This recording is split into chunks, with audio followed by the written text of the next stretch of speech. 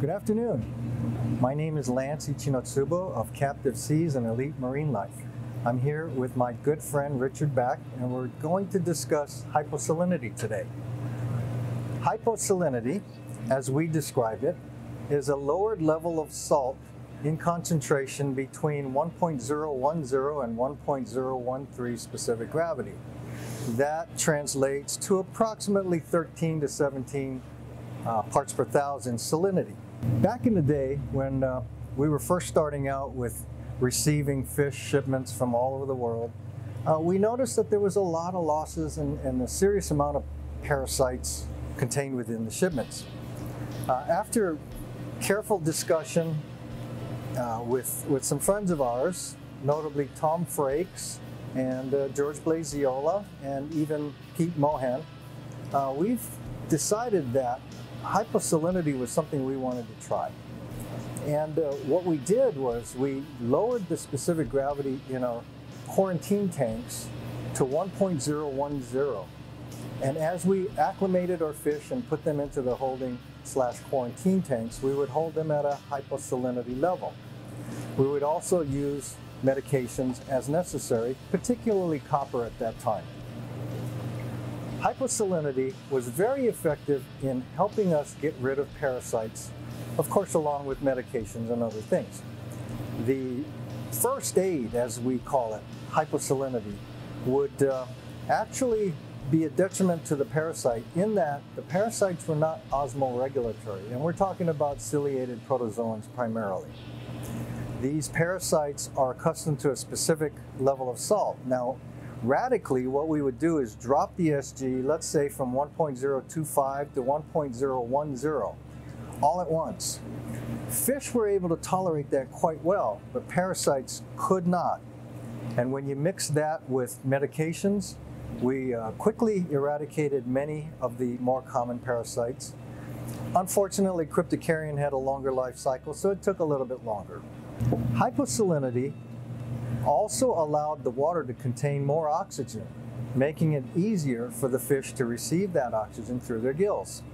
Not to mention, there would be potential parasites in their gills, and this hyposalinity, along with the medications, would allow that to permeate through the gills and hopefully eradicate parasites from those areas which were not visible.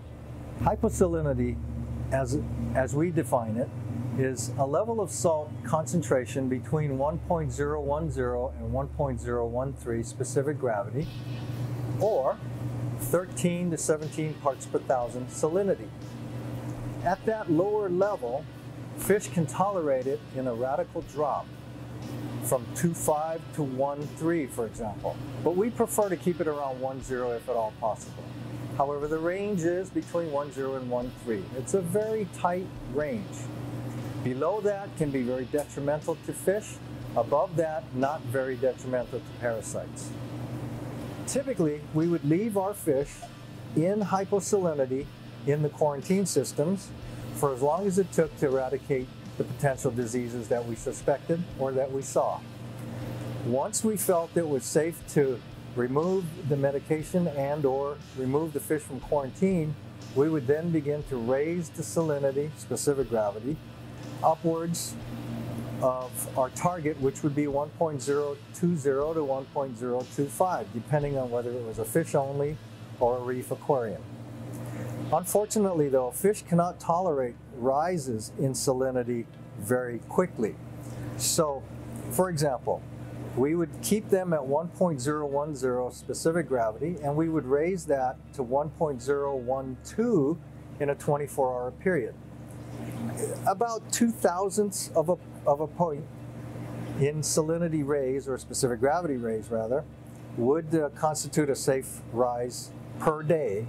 So within 24 hours of that, we would raise it another 0.002 to so it, it, it would go from 1.012 to 1.014 and the next day 1.6 and the next day 1.8 etc etc we have found that by using salt mix at about a rate of one cup per 50 gallons will typically raise specific gravity from 1.010 to 1.012.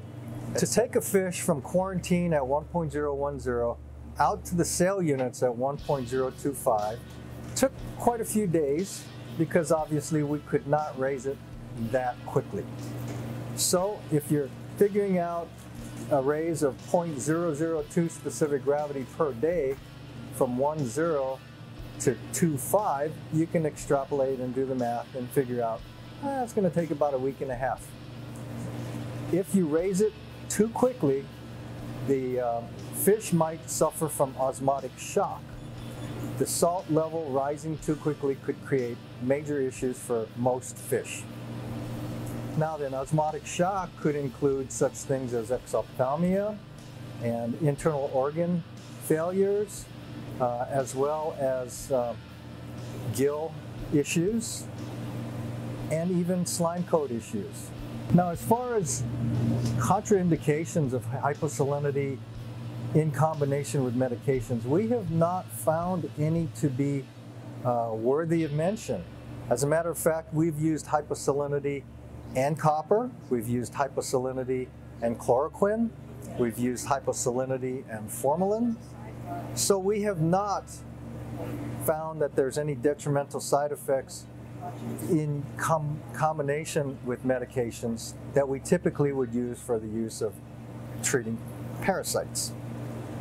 Now, one of the major factors that prompted us to look into and utilize hyposalinity was essentially parasites are not able to control the osmosis in their cell walls. They are not osmoregulatory. So as they are in a higher salinity internally, and you place them into a lowered salinity, specific gravity, they would then begin to absorb fresh water to equalize the osmotic pressures inside and outside of their cell walls. At some point, the theory goes, they will absorb so much water that their membrane will break and they will explode, killing the parasite. We've noticed that that is actually happening by looking at them on slides with fresh water. And we have seen parasites actually absorb water, grow, and burst right on the slide.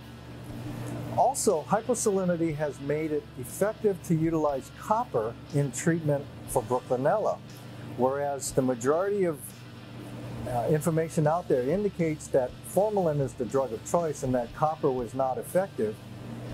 In utilizing copper in conjunction with hyposalinity, we have found that we were very fortunate to be able to eradicate Brooklynella using copper.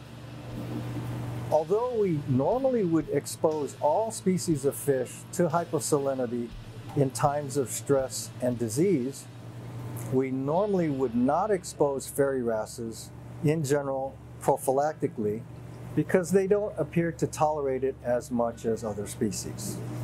In closing, I would like to say that hyposalinity is a very important and effective tool in the arsenal of the aquarist in controlling parasites. We use it routinely, and we've been using it for well over 40 years now. We firmly believe that anything that we can do to add to the efficacy of our treatments and in uh, the abilities to save our fish from dying prematurely is well worth the effort. We thank you for listening, and I'll see you again next time.